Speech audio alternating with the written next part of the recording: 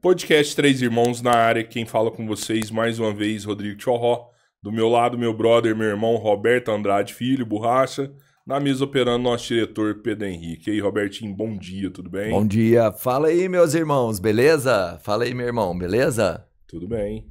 Parece que você tá, não tá tão bem de saúde, está bem? Por que você fala? Parece que você tá descaído, você não tá dormindo tão bem, alguma coisa. Que isso, rapaz, tô ótimo. Ah, nossa, vida, não, tá bem. Tá doido. Eu nunca tive melhor na minha vida. rapaz.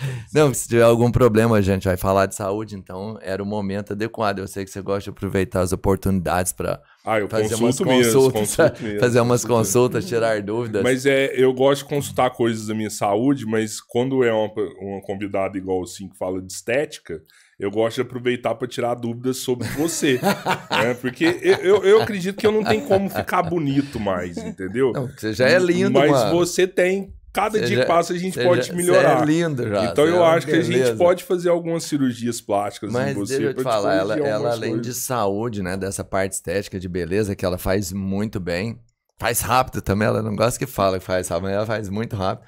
Ela ainda sabe de longevidade, cara, sabe muito disso. Já teve com, com o papa desse assunto, eu já vi ela junto com ele, enfim, sabe muito, tem que ir acima da média, é artista plástica, então, puxa, barba, cabelo e bigode. Apresenta a nossa convidada aí, então. hein? Eu Não, eu vou ter que falar ele, eu não sei falar o nome dela lá, mano. A gente tá com a doutora Elódia hoje. Obrigado, Alô, doutora Elô. tudo bem? Eu- Então agora vocês são meus irmãos, né? Exatamente. Bacana, a família tá Exatamente. aumentando. Obrigada pelo convite, viu? Tô muito honrada de estar aqui.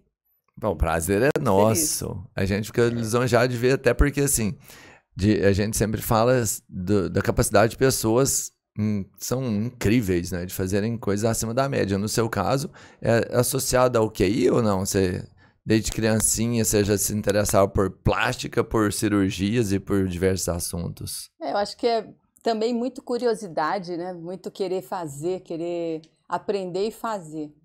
Eu, eu sempre gostei de estética. Quando eu era pequena, eu, eu comecei a pintar. Aí eu fui uma pintora autodidata. Sempre gostei de, de, de cores, fui- sempre fui fascinada por cores, por, por a, a, a visão tridimensional das coisas, a- jogo de luz, sombra, perspectiva. Sempre gostei, então sempre procurei aprender. Aprendi sozinha essa parte aí. Da arte mesmo? Da arte, é. E E aí, Você era vaidosa quando você é criança? não, nunca fui. Você acredita que eu fui começar, estava falando ah, com uma amiga minha, comecei a fazer maquiagem com 40 anos. Que Não- isso? Sério, hoje em dia eu vejo as meninas, né, 18, 16, Aham. novinha, tudo. É, não sei se não era costume. Eu, eu também fui criada com a minha avó lá em Ribeirão Preto e e assim, sempre fui muito desligada com a parte estética minha, mas sempre fui muito ligada com estética em geral, com harmonia, com beleza. Passava horas e horas é, observando o desenho das folhas. Eu ficava horas assim olhando, porque olhando eu aprendia para depois poder pintar. Então eu sempre fui muito observadora da natureza, da, da estética, né? Você consegue ver essa harmonia em tudo que parece que tem uma. Tem uma fórmula, me Tem. fugiu o nome agora. Tem uma fórmula, é, chama proporção áurea, Exato. que é, é baseada no número Φ, Fi. que é, perfeito. 1,614, se eu não me engano. Eu Uhum. sou muito ruim de, de número, mas é isso. É uma proporção áurea que foi vista na natureza. E isso é, denota beleza. Tanto é que no cartão de crédito, por exemplo, a proporção que tem entre a- as duas áreas é, é nessa proporção do, do Φ. Do Fi. Isso foi descoberto por Fídias.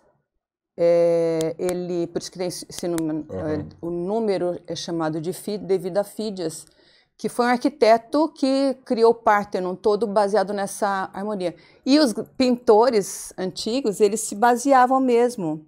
As obras mais bonitas têm essa proporção áurea entre essas duas partes. Eu uso muito isso em estética. Eu ia te perguntar isso, porque eu, eu já ouvi falar, tipo assim, as imagens mais lindas do mundo, você consegue colocar a proporção Fi nela e. Isso. ó, isso aqui é, é, é uma coisa que a mente não percebe, né? Mas a hora Não. que você vai estudar e coloca a proporção Fi na imagem, você fala, não, realmente aqui, ó, tem É, um formato.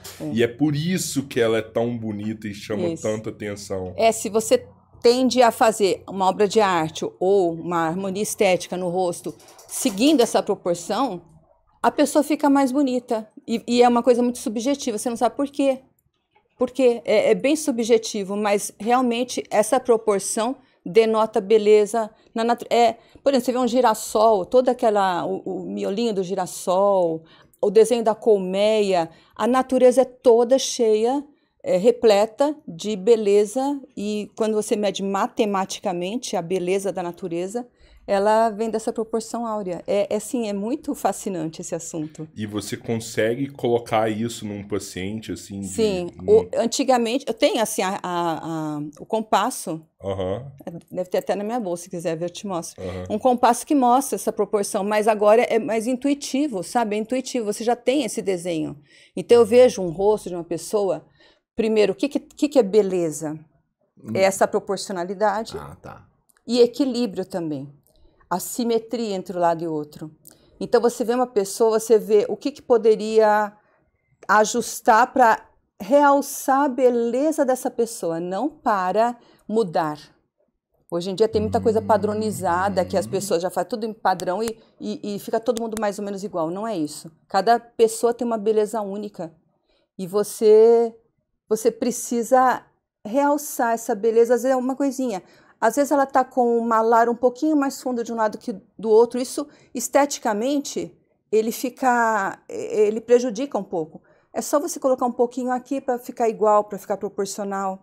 Então, assim, é, é, é, é muito sutil isso. E, e, o cirurgião plástico, quem mexe com estética, tem que ter essa fineza de, de, de percepção do que vai tornar a pessoa mais bonita, mais harmônica, mais simétrica mas sem perder a naturalidade. Ela não pode sair com o rosto de que fez algum procedimento. Mas eu já ouvi falar também que, por exemplo, se você pegar a imagem de uma pessoa e colocar ela 100% simétrica, como se você pegasse e repetisse um lado, fica muito estranho. Ficam duas pessoas diferentes. Fica estranhaço, assim. Você fala, nossa, velho, como que você ficou feio? Porque fica diferente. Se você cortar no meio e colocar a imagem uhum, invertida, invertida uhum ficam duas pessoas diferentes, porque a gente, ninguém tem simetria, ninguém.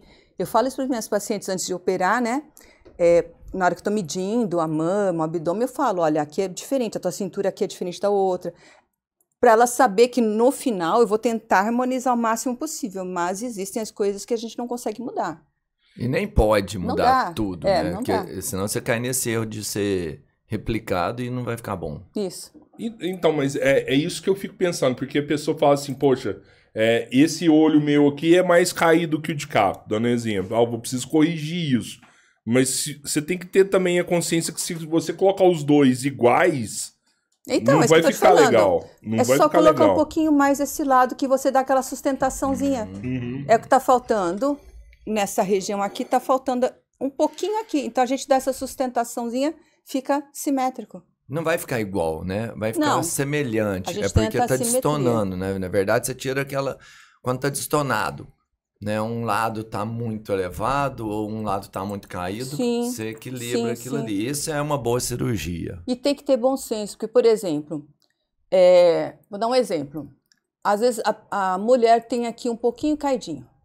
Uhum. Novinha, tudo. Nasceu com isso, um pouquinho. Não é, é. É a beleza dela não é porque tá na moda ficar com o olho puxado assim que eu vou fazer isso nela, entendeu? Uhum. Então a gente tem que realçar a beleza da pessoa, não transformar todo mundo em uma pessoa igual. Cada um tem sua beleza.